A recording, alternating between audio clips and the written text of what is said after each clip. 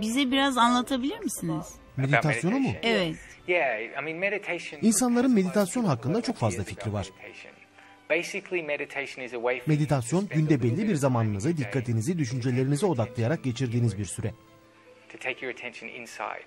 What happens when you do that is that you begin to discover that in you is Bu sürede içinizdeki huzur fark ediyorsunuz.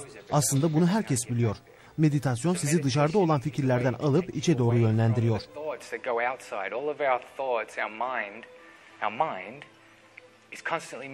Çünkü zihin birçok şeyle uğraşıyor. Ancak meditasyon yapmaya başladığınızda bir adım geri atıyorsunuz ve beyninizi, aklınızı rahatlatabiliyorsunuz.